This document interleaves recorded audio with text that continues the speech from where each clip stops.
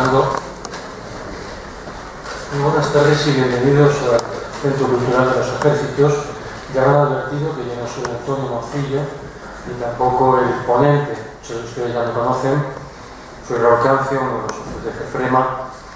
Mi rol, como el de mañana de nuestra compañera Eulalia, es algo novedoso y justifica la quiebra de una tradición ya asentada como era que el presidente abriera las jornadas y se lo hace por tres motivos fundamentales que se voy a explicar muy brevemente. En primer lugar, podríamos hablar de un motivo sustantivo. Las jornadas han crecido exponencialmente, todos somos conscientes de ello, en cuanto a la calidad de sus contenidos. Quedaron atrás ya aquellas jornadas en el Colegio Lourdes, eh, tanto los ponentes como eh, las comunicaciones que se realizan, los temas que se tratan, fundamentalmente la repercusión que están teniendo a nivel mediático y a nivel de personas interesadas o que les atrae toda esta temática. En segundo lugar, hay un motivo locativo, podríamos decir. Eh, también Jefrema eh, ha evolucionado extraordinariamente en cuanto al lugar donde se celebran las jornadas. Estamos en un entorno absolutamente privilegiado desde el punto de vista de los que nos interesa la guerra civil en Madrid. Estamos en la Gran Vía, estamos en un edificio del siglo XIX, estamos en un edificio que fue incautado durante la guerra y si tienen la oportunidad, un edificio estrechamente vinculado por todo aquello que tiene que ver con el conflicto eh, y si las autoridades lo permiten, hay un gimnasio donde se realizaba esgrima y hay una placa donde eh, se indica que esgrimistas eh, porfiaban aquí con los florines y los, y los sables. Estrechamente, insisto, relacionado con la guerra civil. Y por último también un elemento subjetivo de la importancia de estas jornadas. Ya no son los ponentes que tenemos inaugurando a Carlos Iriarte, sino también los propios presentadores, las personas que van a acompañar a uno de los ponentes eh, precisan también de una presentación y de una cualificación porque, eh, insisto, el salto de calidad ha sido eh, muy notable. ¿Qué vamos a hacer Eulalia mañana y yo hoy? Pues fundamentalmente ser el hilo conductor de estas jornadas, vertebrarlas, presentar a las personas que eh, van a acompañar a los ponentes y eh, hacerles una pequeña introducción, insisto, de lo que vamos a tratar. Mm, no seré yo quien no con la tradición eh, secular de esta asociación, así que sin, sin, más preámbulos doy la palabra a nuestro presidente Antonio Morci.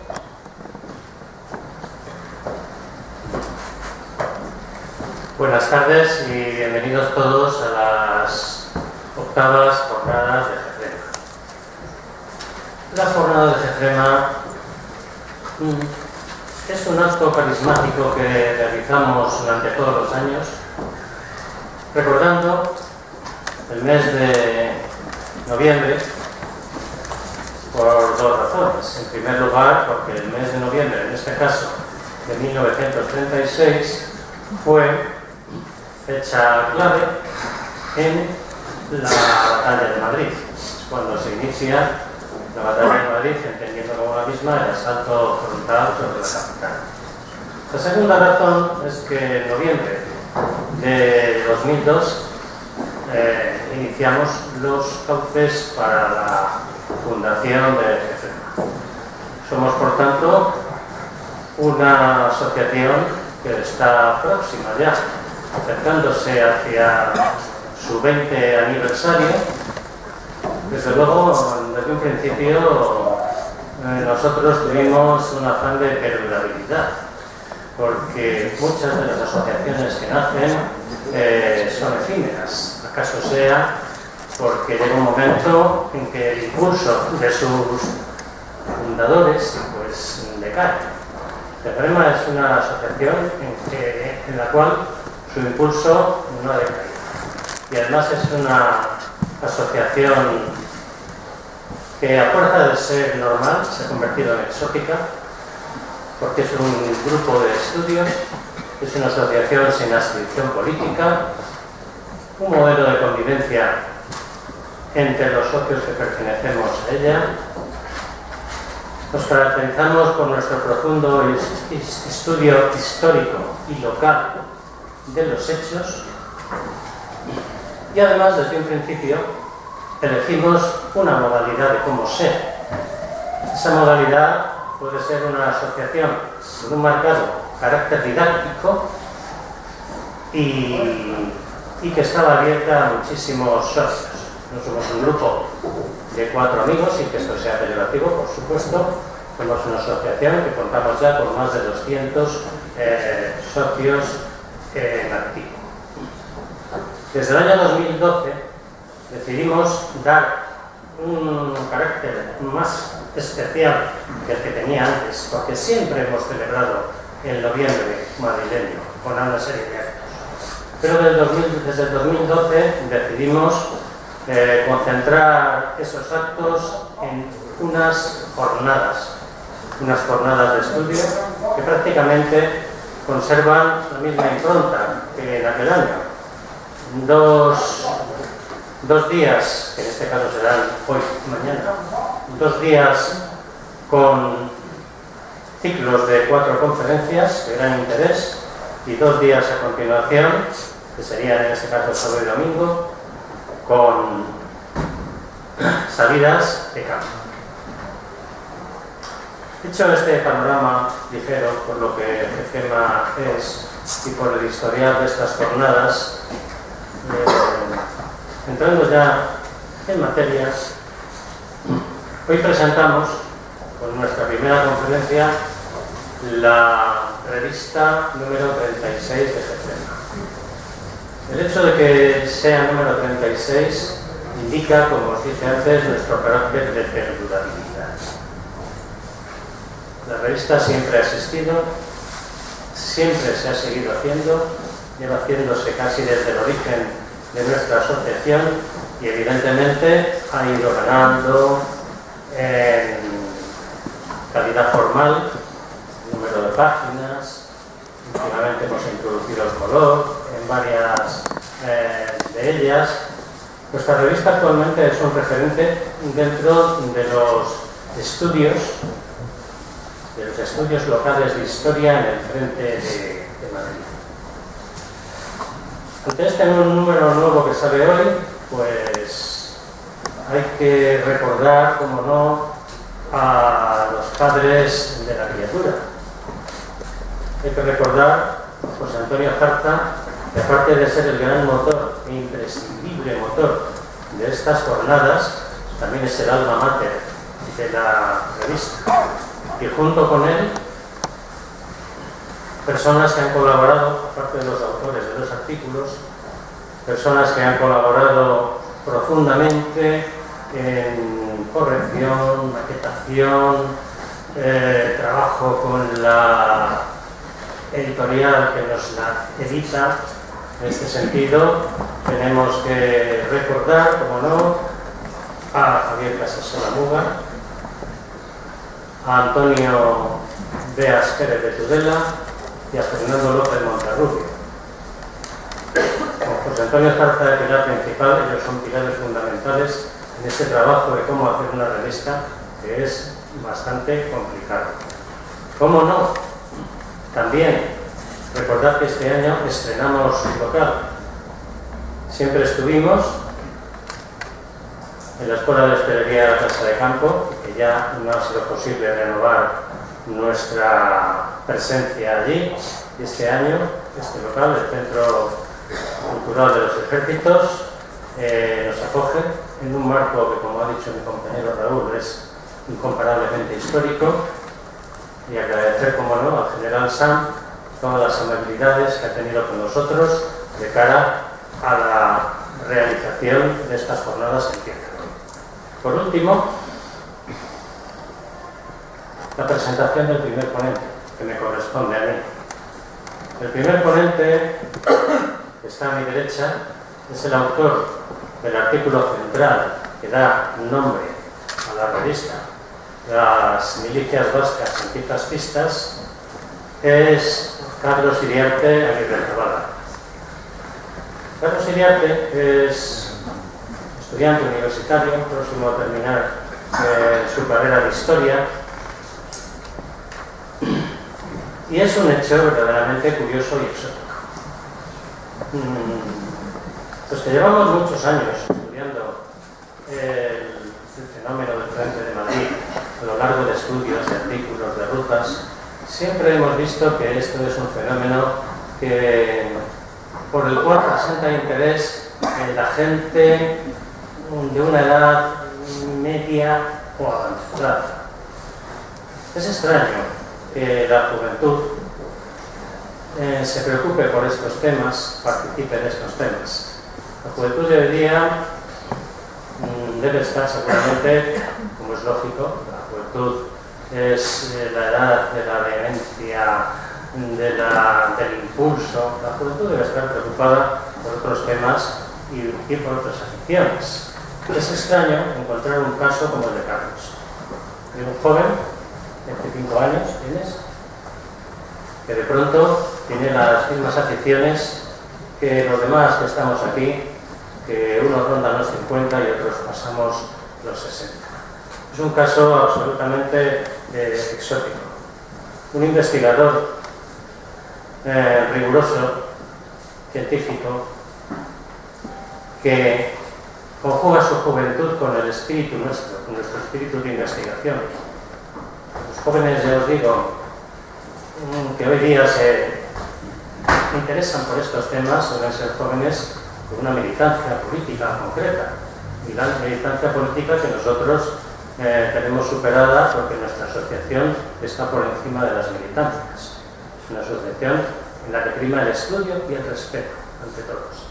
Entonces, eh, Carlos es, por decirlo así, nuestro vencido. Alguien que nos ha traído un soplo de juventud y de vida a esta asociación y nos ha realizado un artículo que ahora, extenso, que en la revista lo podéis encontrar y sobre el que ahora él va a disertar, que en fin, tiene que ver con sus orígenes vascos, sin duda, él es de Azarauz, y actualmente con este artículo podemos decir que se convierte en profeta en su tierra.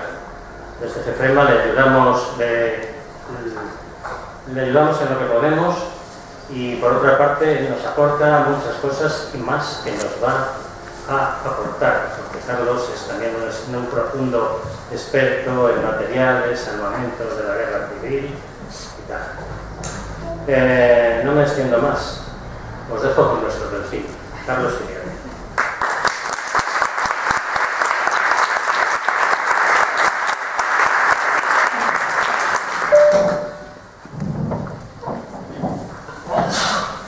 Bueno, muchas gracias Antonio por las palabras y gracias a Cofrema por darme la oportunidad de estar aquí, de escribir este artículo y, gracias a todos por, por haber venido, sobre todo a los que han venido de Mejor.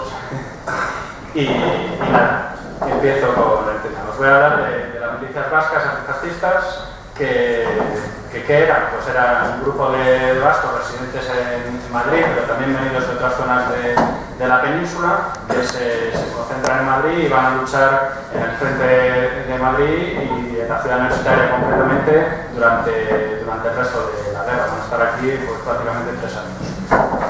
Eh, empecemos pues, por el principio. ¿Cómo se forman estas milicias? Pues se van a formar primero en dos grupos. Un grupo que empieza en, Barcelona, que van a ser escapados de, de, la batalla de Irún. Cuando se pierde Irún, algunos de los milicianos escapan por el puente internacional y llegan a través de la frontera francesa hasta Barcelona. Y otro grupo, que es el que nos vamos a centrar, que es el que se forma en Madrid, principalmente con vascos que residen en Madrid.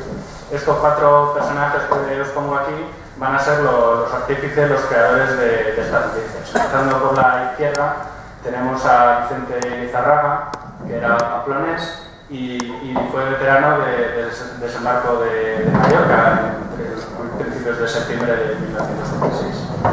Eh, este, este, personaje va a ser el que se va a poner en contacto con, el presidente Aguirre, el jefe del gobierno vasco, para, dar lugar a, a estas milicias. A su derecha tenemos a Alfonso Peña, Donostierra, socialista, que, va a ser el delegado político quien va a llevar un poco la dirección, política de, la unidad, que lo iremos viendo después. A su derecha también tenemos a, Julián Sansimenea, Donostierra, que, que es un, probablemente uno de los personajes más interesantes de estas milicias porque él era barítono, eh, su, su, papel más famoso fue el comisario político de la opereta Areta Catiusca del maestro Sorozábal y va a ser uno de los de, va a ser habilitado como capitán y va a ser uno de los jefes de las milicias a lo largo de, la guerra. Y por último tenemos a este personaje que vemos aquí en, un pequeño aprieto, que es eh, Emeterio Arrebas, bilbaíno, que era más conocido por su, apodo de torero, que era Corchadito de Bilbao. Eh, este, este, hombre va a ser el, reclutador de, de, las milicias vascas y también participaría en la famosa brigada de los toreros. Eh, como vemos, hay gente de variada ideología y una cosa de la milicia vasca va a ser que no es una unidad nacionalista vasca, como alguna gente ha dicho, sino que es una unidad que, va a reclutar a gente de todo tipo de ideologías.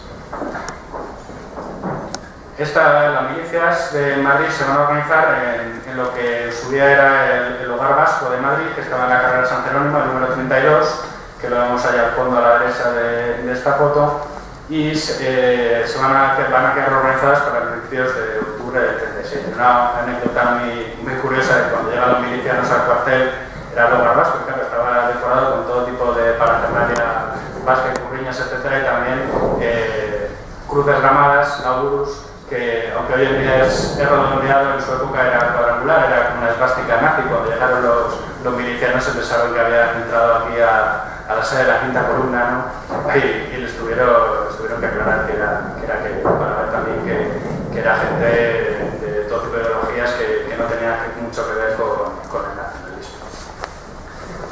Aquí vemos el que va a ser el famoso cartel de reclutamiento de las milicias vascas, que de nuevo expresa las diferentes ideologías, ¿no? tenemos anarquistas, eh, comunistas, de todo, y, y un poco eh, vemos eso, por ejemplo, la foto de la, izquierda está a, la izquierda de nuevo el jefe de las milicias vascas, que va a ser Lizarraga en principio, y están, están de hecho diseñando el, el, uniforme, que es un poco lo que vemos en el cartel, del que destaca la boina, la chapela, que, que veremos en las fotos que, que son muy presentes.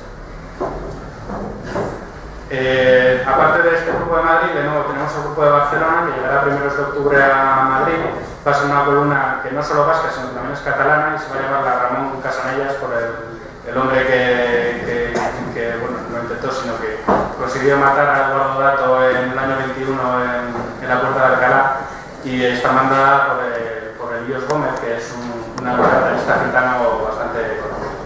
Llega a Madrid y va a combatir en en la zona de Chapinería, San Martín de Valdeiglesias, y se va a ir retirando a medida que avanzan las fuerzas sublevadas hacia, hacia en la parte superior de la imagen. En la parte inferior, eh, donde hay donde veis a que es la columna franquista que avanza, eh, es donde va a combatir el, grupo madrileño que, que, se va a ir retirando hacia, hacia Navalcarnero. A Navalcarnero eh, llegan a, hacia el día 20 de, de octubre del 36 y va a ser allí donde eh, tengan su, verdadero bautismo de fuego. Eh, esta operación, que va a ser un intento de contraataque, va a ser un fracaso, aunque ellos se llevan buena impresión del asunto. Como aquí les vemos en, esta foto, están, están, todos muy contentos, la moral es muy alta y de ello da fe el, el, periódico que se puede ver en la foto abajo a la derecha, que es esta la portada que que aquí reproduzco, que es la famosa arenga de Largo Caballero del día 29 de octubre para lo que va a ser la, la batalla de Sesenta. Eh, sin embargo, aquí vemos al ataque, pero lo siguiente que van a hacer es, es, retirarse y a la desbandada, porque se va a reiniciar la ofensiva sublevada y van a tener que retirarse por Lunete hasta, hasta Boella del Monte y después a, a Pozuelo y directamente a Madrid. El grupo de, los, de la Vasco-Catalana, de los de Barcelona, van a acabar directamente en Madrid, mientras que los, los de Madrid, los que son propiamente las milicias vascas, eh, se quedarán en Pozuelo. Allí en Pozuelo entra en juego este personaje de la izquierda, que va a ser uno de los personajes más importantes de, las milicias vascas, que es el teniente coronel eh, Antonio Ortega que aunque se ha dicho que era vasco, realmente no era vasco, era de Burgos, pero durante 30 años había sido jefe de los carabineros de, de Irún, en la frontera, y durante la defensa de Guipúzcoa eh, va a organizar la defensa de, de Irún y también la, la, de San Sebastián. Pero con el Estatuto Vasco su, su rol va a quedar redundante y le, le envían a Madrid. Llegado a Madrid, eh, se encuentra con, con, esta mujer, que es una miliciana de, de la columna vasco-catalana que va a actuar como enfermera, pero en primera línea. Eh, su nombre es Felipe Domínguez, era, la conocían como la consulesa de Lyon porque todos los vascos que había por Madrid iban a, a saludarla siempre, es un personaje muy popular y va a ser quien le pone en contacto con, las milicias vascas. Entonces, la mañana del 4 de noviembre de 1936, el teniente coronel Ortega se presenta en Pozuelo, donde están las milicias vascas, y les, les ordena contraatacar y tomar Boadilla del Monte. Y es efectivamente lo que hacen. Llegan a, a Boadilla del Monte sin, sin combatir. Había una anécdota curiosa de la que algunos milicianos que, que, se estaban retirando hacia Madrid se encuentran con los vascos que avanzan en dirección contraria y se piensan que, que están desertando, pero, pero no están avanzando hacia Boadilla del Monte, que toman sin ningún tipo de combate porque ha quedado en el flanco del avance franquista y, y pues se van a quedar en esta población durante todo un mes. Se va a ser un frente estabilizado mientras que se, llevan a cabo los combates de, la ciudad universitaria. Y esta, como lo que interesaba un poco, porque como hemos visto sí que había cierta relación con el gobierno vasco, al gobierno vasco le interesaba hacer pues, propaganda de, estas milicias vascas, ¿no? es decir, pues, que son combatientes vascos que están defendiendo el estatuto vasco en Madrid por las armas. Entonces, como operación así un poco de propaganda, lo que hacen es eh, darle el nombre a Boadilla de Boadilla de Euskadi, que se, se llegó a decir que era un nombre popular, pero realmente, aparte del uso interno, pues parece ser que no, no prosperó mucho.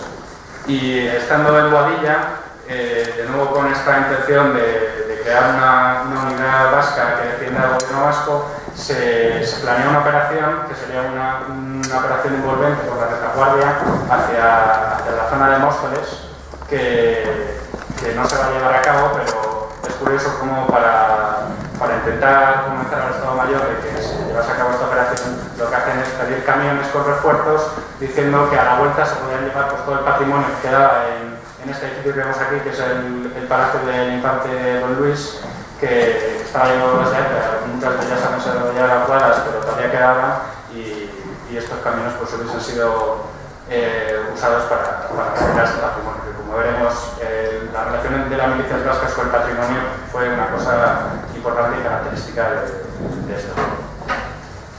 Mientras tanto, volvemos al grupo de Barcelona, que como habíamos visto a principios de, de noviembre, después de retirarse de Guadilla, habían llegado, hoy, perdón, de, de Navalcarrera, habían llegado a Madrid, eh, eh, llegan a Madrid y se destinan básicamente a las tareas de fortificación. Sí que es cierto que en algunos momentos, en, en, momentos de mucho apuro, los combates de la Casa de Campo, les dan fusiles y les llevan a la Casa de Campo a combatir pues, claro, pues una, iban una noche a combatir y al día siguiente se retiraban y entregaban los fusiles y así varias veces. De, de, siguieron con esta dinámica hasta que hacia más o menos el 15 de noviembre eh, vuelven a su cuartel, que es el cuartel de la, de la montaña, y se lo encontraron pues, prácticamente así, ¿no? bombardeado y destruido, eh, de tal manera que, que, no podían ahí.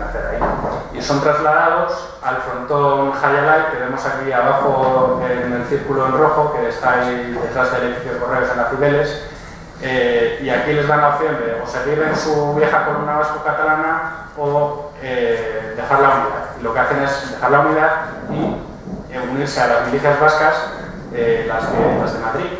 Es decir, se unifican directamente los dos grupos, el barcelonés y el, el madrileño, creando lo que van a ser las, milicias vascas tal y como se conoce en, su momento más famoso. Eh, van a ser la, quinta compañía, que ya era un grupo importante de más de pues prácticamente un batallón de, de combatientes. Les envían al grupo, a la quinta compañía de las milicias vascas, a, a combatir a Abaca y a la esquina noro, noroeste de la Casa de Campo. Por eso pongo esta foto, que, es una de las posiciones de, este lugar, que se ve ahí la tapia de la, campo, de la, tapia de la Casa de Campo, aunque estos combatientes son, son antiguos combatientes de, la Durruti. El día 29 de noviembre son enviados a, a Pozuelo, que se está dando lo que va a ser conocido como la primera batalla de la carretera de Colonia. Y son enviados allí y participan en la defensa. Eh, participan junto al batallón Garibaldi de la 12 Brigada Internacional y, de hecho se dice que el comandante del batallón Garibaldi, Randolfo Paquiarri, les llegó a decir en el castellano que chapurreaba un poco que los vascos, mucho bueno, mucho bueno. Pero bueno, eso es una de las anécdotas que contaba los eh, eh, llegados a este momento, estamos ya prácticamente a principios de diciembre, eh, los vascos van a ser trasladados del grupo de Boadilla, que también está en Boadilla, y el de Pozuelo son trasladados al, al Parque Oeste. De, la, de, esta época del Parque Oeste no, tengo, no, tenemos ninguna foto de época, pero sí que aprovecho para poner esta foto que, que es de la recreación histórica que, que hicieron en colaboración con, con, un artículo que hice yo para ellos de la Asociación Sancho ahí de Vizcaya, que, que retrata eso a los milicianos vascos en, en el Parque Oeste pues, con su fusil Aquí en el Parque Oeste van a quedar integrados en lo que se conoce como la Brigada Y, que va a ser la 40 Brigada Mixta, que, que, va a ser es la unidad que va a mandar Ortega, que como veíamos era jefe de las milicias vascas, ahora las tienen a, a, jefe de brigada y va a ser su unidad para el resto del Aquí permanece, en el Parque Oeste permanecen todo diciembre del año 36 y en enero son trasladados al otro lado de la Plaza de la Moncloa. Y aquí es donde van a ser las fotos famosas de las milicias vascas que están casi todas hechas al lado de este edificio que veis a la derecha, que son las antiguas oficinas de la GAN que no se conservan. Eh, esta, esta, atención que se les da, pues les da una gran atención mediática, salen un montón de periódicos, artículos, muchos de ellos con fotografías, que es una operación de, propaganda que probablemente no se puede confirmarlo, pero que fue pagada por el gobierno vasco para, para de nuevo dar notoriedad a esta lucha, ¿no? a, esta defensa de, del Estatuto Vasco, que era muy importante para el gobierno vasco porque de ello dependía su razón de ser, aunque es cierto que a la vez que hacían todo esto había un sector del, del PNV concretamente que estaba negociando con, con los franquistas y después con los italianos. Esto es, en, entonces, eh, en este sector de la fuerza de Moncloa van a empezar de nuevo a, a contraatacar, porque a partir de enero lo, se empieza a contraatacar la ciudad universitaria. Se intenta hacer una operación de, varias operaciones de pinza en la que las milicias vascas se les va a asignar este objetivo, que es este edificio de la izquierda, que son la, las oficinas de la Junta Constructora de la ciudad universitaria que están ahí justo al lado de la plaza de Moncloa. Y el 13 de enero por la noche, eh, un grupito de, de, milicianos vascos se va a infiltrar, va a saltar en los parapetos y va a intentar tomar este edificio. Y cuando llegan al edificio, pensando que va a estar lleno de, de o de legionarios, se encuentran con que no hay nadie, solo hay, decía uno de ellos, un, gato que les da un susto de muerte, pero, pero está vacío, no había sido desocupado el edificio. Y entonces, eh, vamos, a ver, a partir de este momento se quedan en este sector eh, parados hasta, hasta marzo del 37, pero se lleva a haber varios intentos de, de, de contraataques en, en, esta línea ¿no? de intentar envolver la universitaria. Aquí en la otra foto veis a los militares vascos, que de nuevo la chapela que, que resalta con al fondo las, ruinas de, del hospital clínico. Eh, estas operaciones de contraataque van a ser importantes, van a ser operaciones en las que participan tres brigadas mixtas, es decir, casi 10.000 personas, eh, en las que los, a los vascos se les asigna un objetivo muy concreto, que es el edificio que ve a la derecha, que es el Instituto del, Cáncer, concretamente esto es el, Hospital de Cirugía Infantil, eh, y los vascos pues básicamente se les obliga a saltar, a saltar este edificio pero prácticamente sin ningún apoyo porque era muy difícil proporcionar apoyo de artillería o de cualquier otro tipo debido a la orografía del terreno. Eh, en estos ataques van a sufrir bastantes bajas, van a ser eh, los ataques más costosos para esta milicia, van a, va a ser, por ejemplo, ha herido el capitán San Silenea, el, el, barítono en estas operaciones y, y mueren muchos de ellos. Esta foto en concreto es de, de, un ataque de febrero y si os fijáis a la izquierda se pueden ver los dos, los dos tanques Renault que están avanzando por, por la, lo que hoy día es la avenida de, de la memoria. Durante este tiempo también eh, muchas visitas de gentes importantes. Vemos allá a la pasionaria con, con el comandante, perdón, el teniente coronel Ortega y también eh, a la izquierda está el famoso doctor Betún que fue famoso por su eh, su quirófano móvil que destacó en, la desbandada de, Málaga. Y ahí está con, con los milicianos vascos, no se muy bien, pero el, hombre de la derecha lleva la curriña en, en, el brazo y están en, en la plaza de Moncloa. Eh, llegados a este momento, eh, nos apartamos un poco de las operaciones militares vamos a ver un poco el trasfondo político. Porque, eh, como hemos visto, el gobierno vasco tenía mucho interés en, esta unidad, pero a partir de febrero va a ir perdiendo interés por varias razones. La primera es que eh, se las milicias eh, se están militarizando, ¿no? ahora pasan de depender de, de organizaciones políticas extintas a depender directamente del ejército popular del gobierno central, en resumen. Eh, entonces, eh, Manuel Irujo, que le vemos aquí a la izquierda, que está ahí, para los que quizás le conozcan, pues está a su derecha Alfredo Beltrán, el, esquinazado, el famoso de la, bolsa de Wilson. Eh, ah, perdón, Manuel Irujo, que va a ser siempre el interlocutor con las milicias vascas, va a recibir varias quejas de que, de que no, las milicias no están recibiendo ninguna atención del gobierno vasco, pues porque precisamente por ese tema, ¿no? porque se pierde, se pierde el interés, se pierde el control sobre, sobre las milicias.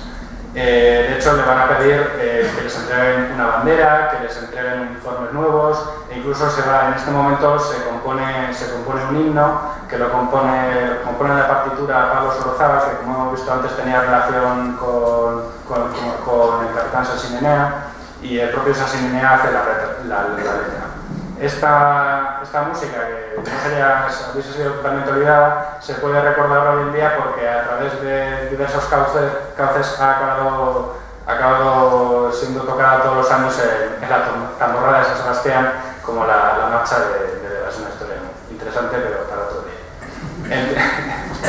eh, entonces, eh, lo que pasa es que, claro, el, gobierno vasco pierde interés y centra su interés en una nueva unidad vasca que están creando en Aragón. Eh, ¿Por qué en Aragón? Pues porque en Cataluña y Aragón el gobierno central no tiene el mismo poder, poder que recupera después en las jornadas de mayo, en, en, esa pequeña guerra civil interna con anarquistas, comunistas, etcétera, recupera el control, pero hasta entonces no tiene, no tiene ese control y se ve con más libertad para operar allí hacer un poco su unidad tal y como a ellos les interesa. Y aquí a la derecha vemos a, un miembro de esta brigada que va a ser conocida como la Brigada Vasco-Pirenaica.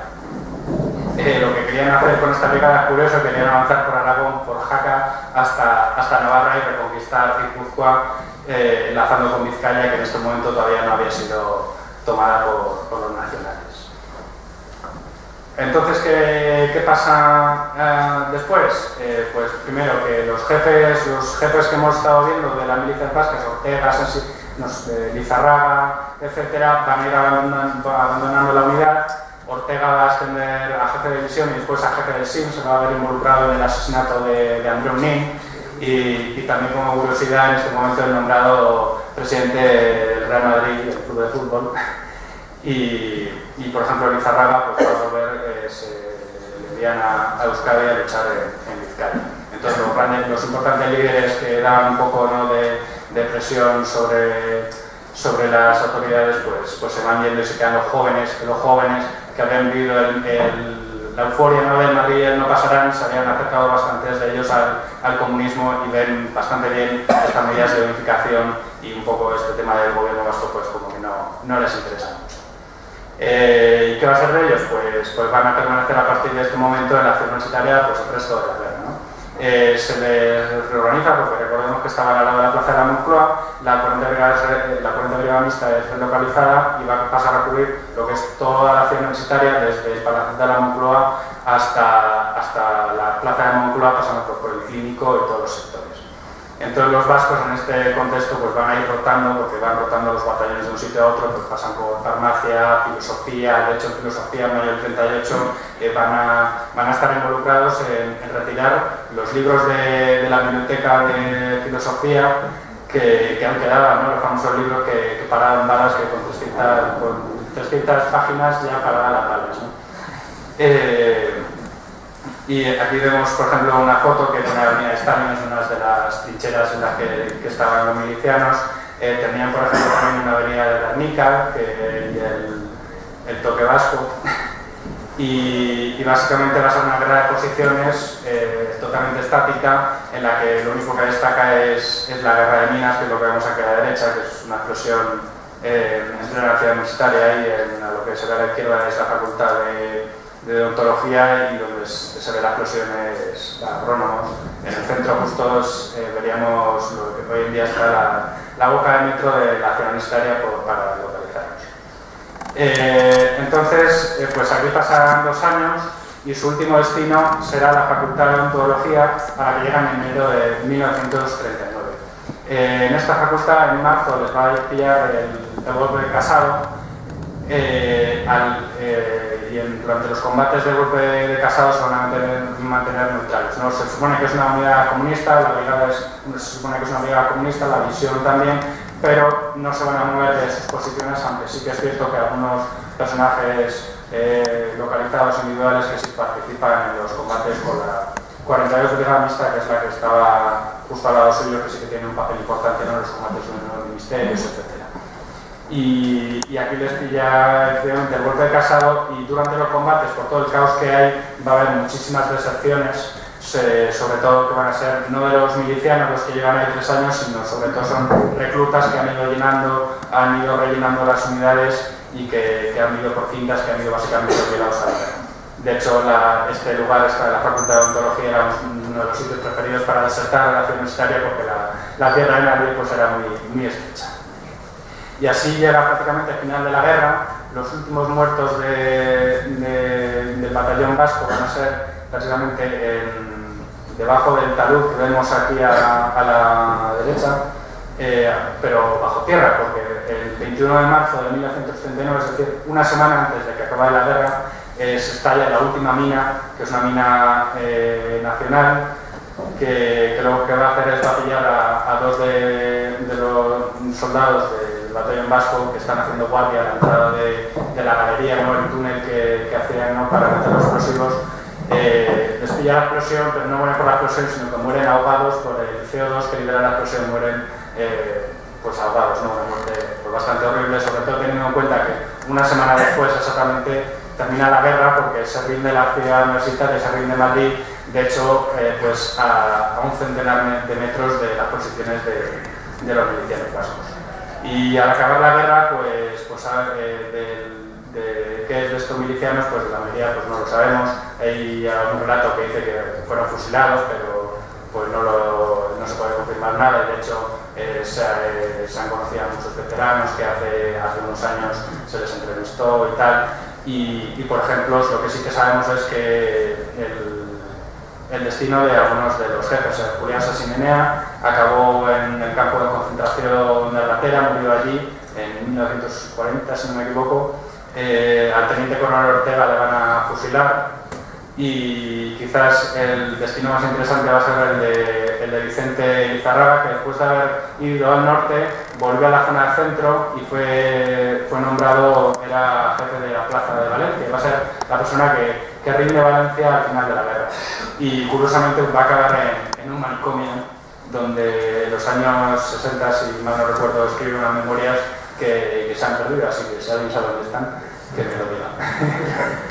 Y, y, ese es básicamente pues, el recorrido de estas milicias que, que están ligadas están a la acción universitaria y a la historia de la guerra civil en Madrid. Y, y eso es todo, espero que os haya interesado.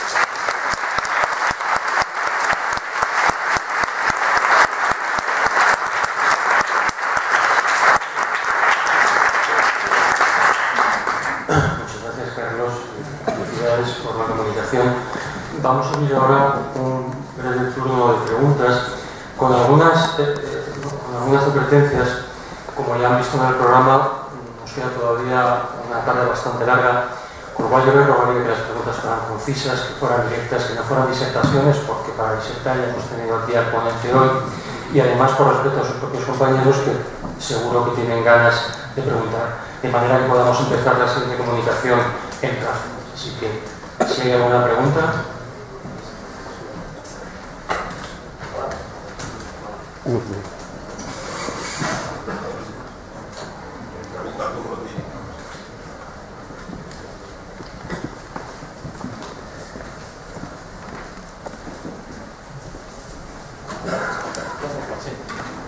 Eh, Roberto.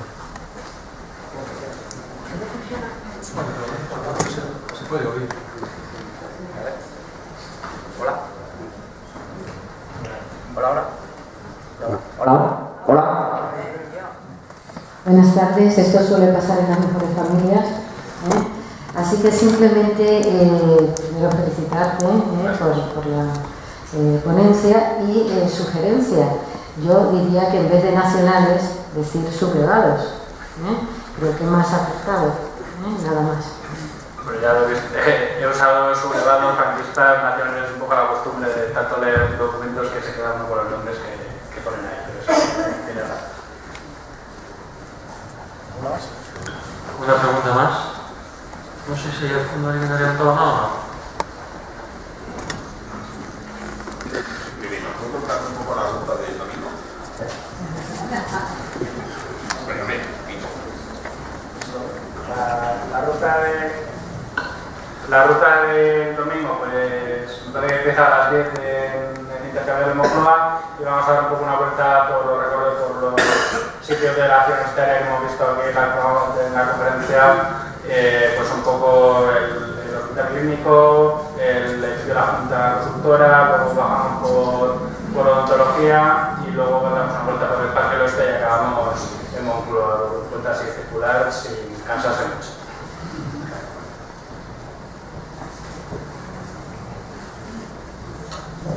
¿Hay más preguntas? Sí. Allá tu señor.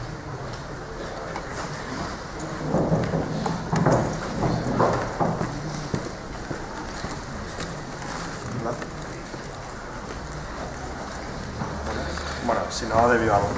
Te quería preguntar, bueno, primero muchas gracias y Sí. Nos has comentado que, que había diversas sensibilidades políticas, digamos, pero al final esta gente acaba junta, ¿no? Si en base a lo que has leído y tal, a lo mejor es una pregunta un poco complicada, pero eh, ¿qué dirías tú que les lleva a juntarse o si es meramente, digamos, el origen común vasco? Una pregunta interesante, es un tema que he intentado tocar un poco si en este artículo le ha dado espacio, pero, pero como dices, pues sí, había gente, acaban todos un poco comunistizados, pero había nacionalistas, había anarquistas, había uno famoso anarquista que le llaman el reino, el reino anarquista y todo. Eh, pero, ¿qué les junta? Pues, por ejemplo, el, el grupo que viene Irún pues son gente que ha combatido junta y que lo que quiere es seguir combatiendo junta. Eh, a la- al grupo de Madrid pues es más complicado decirlo. Hay incluso gente que sabemos que se han visto hasta milicias porque los vascos tenían fama de, de que no perseguían a, lo- a los rojos, por así decirlo, y gente pues, que era de inclinaciones derechistas y que se alista estas milicias por escaparse un poco de- del terror. De hecho, tenemos localizado a un quintacolumnista que, que estaba en las milicias pero sí que parece ser que, que sí que hay un sentimiento ¿no? de identificación con, con la identidad vasca, ¿no? de que esta gente son mis compañeros, sean de la ideología que sean, y sí que se ven algunos relatos que, que tienen esta identidad vasca que es lo que les mantiene, mantiene juntos. ¿no? Ayer. Sí. Sí. ¿Me puedes decir si hubo estas milicias vascas algún contacto con el batallón Canarias, que estuvo casi toda la guerra en la parte de ah, en la parte del Pardo? Y que eran también una milicia que se formó en Madrid con gente canaria, mayoritariamente comunistas, pero también había de otras ideologías dentro de ese batallón. Pues ¿No tuvieron contacto? que yo sepa no, no tuvieron contacto, porque esta, las milicias, como ya he visto, llegan relativamente tarde a, la defensa amarilla, es cuando han pasado lo- los combates importantes de noviembre, ¿no? Entonces llegan un poco después de, todo este ambiente de, unión. Eh, con el Pardo, por ejemplo, igual sí que, por ejemplo, en la brigada había un batallón que era el Artes, el Artes Blanca, que era el batallón de los panaderos y los churreros de Madrid, que luego estuvo en el Pardo, aquellos sí que puede que tuviesen algún contacto con el batallón Canarias y que estuvo en, en el Pardo, así que directamente quizás sí que tuvieron alguna conexión. ¿Dónde, dónde nacido Lizarraga? Ah, sí, sí, sí. ¿Dónde habían nacido Lizarraga y San Sinenea? Eh, Lizarraga era de Pamplona y San Simeón era de San Sebastián.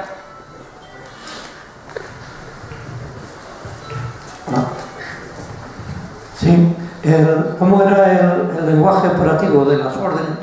¿Era en vasco? ¿Era en castellano?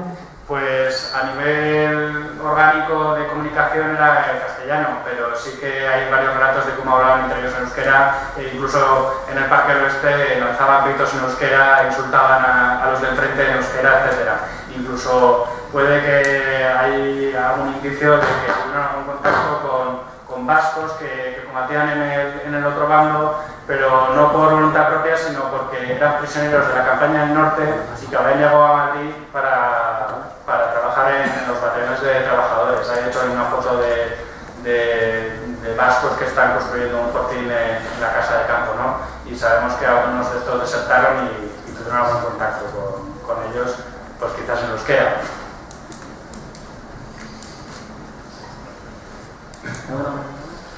Yo, yo quería aprovechar para hacerle también una pregunta que me ha surgido a lo de su relato y es, eh, no sé si de los materiales que ha manejado o del movimiento de las unidades, ¿en qué medida, si le consta, la caída del frente del norte, episodios como el de Santoña, en qué manera pudieron influenciar o incidir en la moral de los combatientes vascos que había en, en Madrid?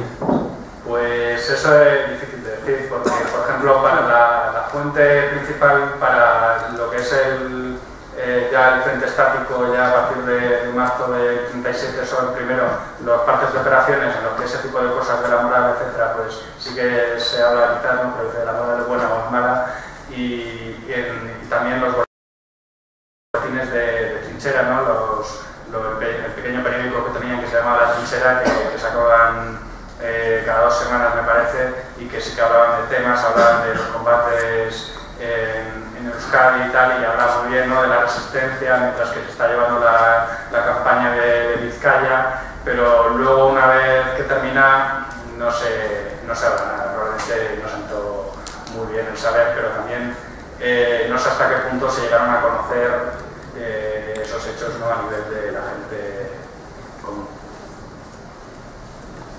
Una pregunta. sí. Quería preguntarte, de toda la investigación que has hecho, ¿hay algo que te haya sorprendido especialmente? Algo que te haya sorprendido especialmente que no esperabas encontrar de todo lo que has investigado? Pues, pues buena pregunta. Eh, pues no lo sé. Alguna cosa.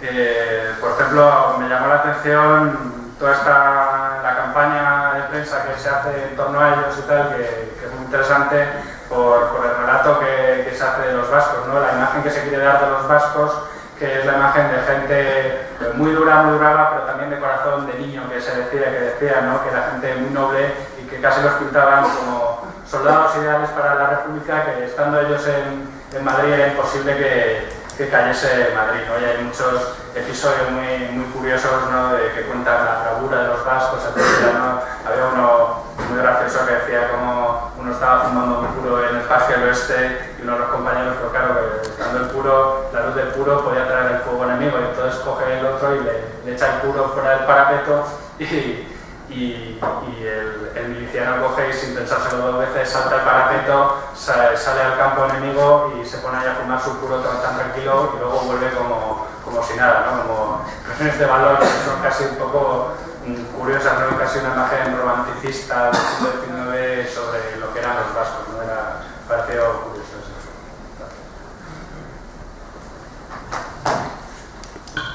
Si hay más preguntas, ahora en prácticamente nueve minutos estamos ya preparados para la siguiente comunicación. Muchas gracias.